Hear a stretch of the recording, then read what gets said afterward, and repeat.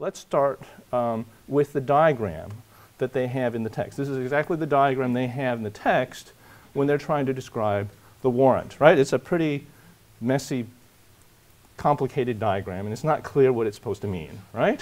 Okay? That's basically what I thought when I saw the diagram, right? Um, so we're going to we're gonna go through, just to give you a preview, we're going to go through this diagram, I'm going to go through it piece by piece to kind of reconstruct um, the argument that they're making in the craft of research about what the warrant is. Unfortunately, though, um, I don't think they're right about this. I think they've got it all screwed up. So then we're going we're to redo the diagram in a different way, the way I think it makes more sense. All right? And then we're going to go through um, a third uh, example of the diagram, but using uh, Hobbes as an example. Okay, so um, let's just get started with the piece by piece here. Okay?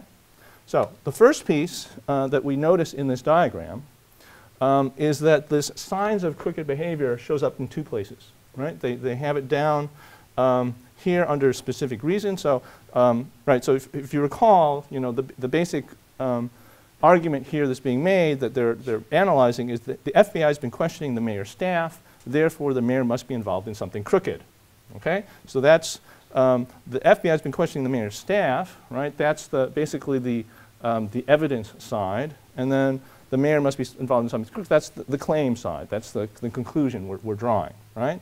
Uh, but they note that um, this FBI has been questioning the mayor's staff is a sign of crooked behavior. So that's, that's down in the bottom. But then it, they also put it up at the top as the general circumstance um, that we're looking for um, in order to conclude the claim that we have, right? Um, so essentially what we've got is we've got the reason, that's the reason, right? Because that's the, um, you know, when we have, when we see crooked behavior, like when we see wetness, you know, we conclude that there's been rain.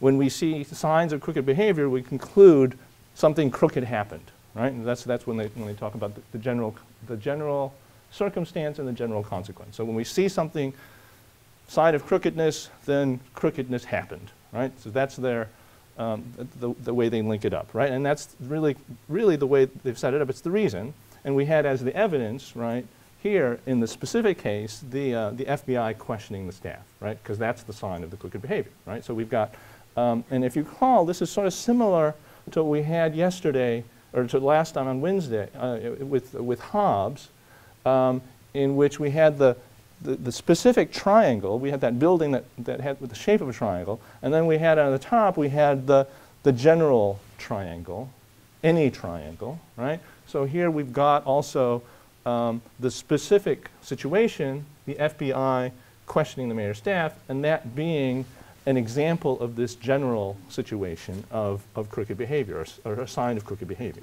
okay? So uh, evidence and um, and, essentially what we're, we're saying is that the evidence can be um, seen as an example of that reason, right? Okay.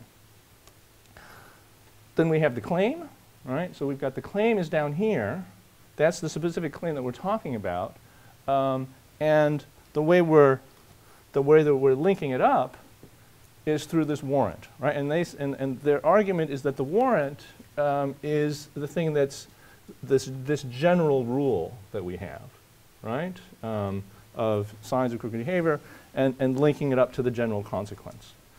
Um, so I think, I mean, according to their explanation of this, this is, that's their explanation, right, that, that the warrant is this general rule that allows us to make this specific um, connection between um, specific reason and specific claim, right? So that's, that's how they've laid it out for us, okay?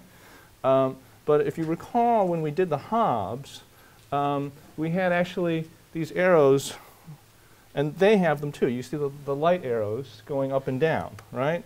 So, so like we've got this arrow, so I mean, what's important here is that the warrant, it, it, it's not just doing that. It's not just linking the general circumstance to the general consequence, it's also linking that general consequence to the specific claim, right? So they had, the, they had these arrows kind of like in the background, and you didn't quite understand what they were for, and they didn't really explain them in the text, but clearly you have to make that that connection. Otherwise, you you you know you've got the thing up there and you've got the thing down there, and there's no there's no connection, right? So if, if you recall with the with the with the triangle example we had, um, we made we didn't make the connection directly. We had to go up, over, and down to make the connection, right? Because we're making the connection not by looking at every specific case, but rather we're relating the specific case to a general rule, right? And that's how we make the argument, right? And so we need that arrow down, but that's, that's an arrow that they don't really explain to us in the craft of research.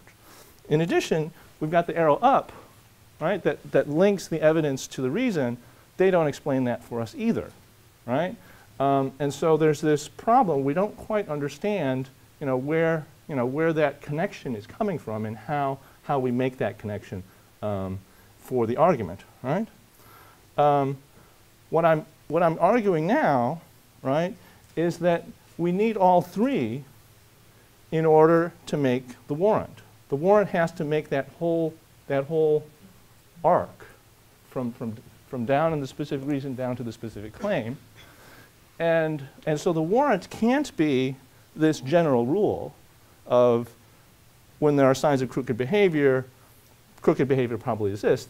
That's a general rule, but it's not enough to link that general rule down to this specific relationship here. We need actually something else that's going to make that whole circuit. And I'm proposing as that warrant, um, the FBI only questions people when they have done something wrong. I mean, which we should say the people have done something wrong that they're questioning, right? Um, and so that's what I'm suggesting is really the warrant here, right? Because that's the idea that's going to link it all the way around right? Um, is that there's this sign of crooked behavior, that there's this questioning. Um,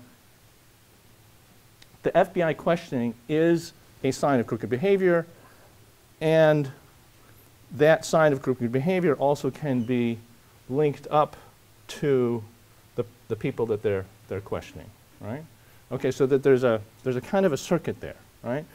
Um, in order to get to this explanation of the one, and I think it's necessary because otherwise you, have got these, the, the, the, general rule up here, the specific um, you know, uh, statement you're making down here, they're kind of floating and they're not, there's no necessary relationship between the two, right?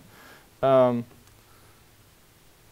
when the craft of research fails to explain this process, then I think there's a, there's a kind of missing, there's a missing piece in the way that the, the warrant is being understood, right?